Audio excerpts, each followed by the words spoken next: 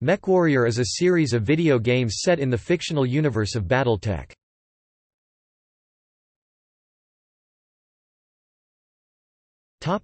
Games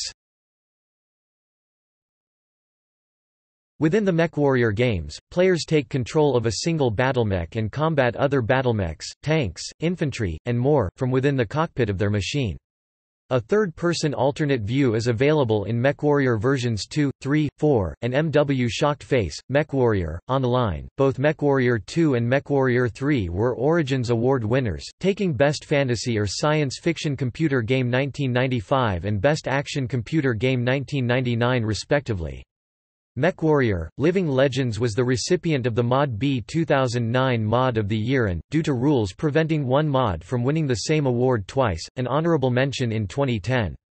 MechWarrior, Living Legends is not an actual MechWarrior mod, but rather a Crysis Complete conversion.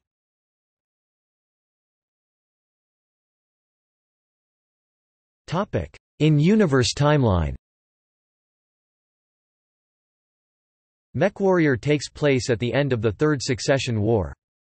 MechWarrior 2 31st Century Combat, Ghost Bear's Legacy, Mercenaries, and MechWarrior Online deal with the events soon before, during, and soon after the clan invasion of the Inner Sphere. MechWarrior 3 and MechCommander are concerned with different parts of Operation Bulldog, the combined Inner Sphere counterattack against the clans, targeted at the Smoke Jaguars. MechWarrior 4, Vengeance, its expansions, and MechCommander 2 deal with the Federated Commonwealth Civil War. MechWarrior 5, Mercenaries takes place during the Third Succession War. Was originally scheduled for release in 2018, was pushed back to Q1 2019.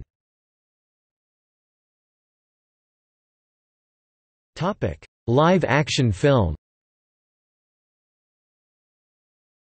Electric Entertainment, a Hollywood production company founded by Dean Devlin, currently holds the option to produce a feature film based on the MechWarrior universe. In 2003, Devlin approached Paramount to pitch the project but failed to receive funding. The project is currently in development limbo.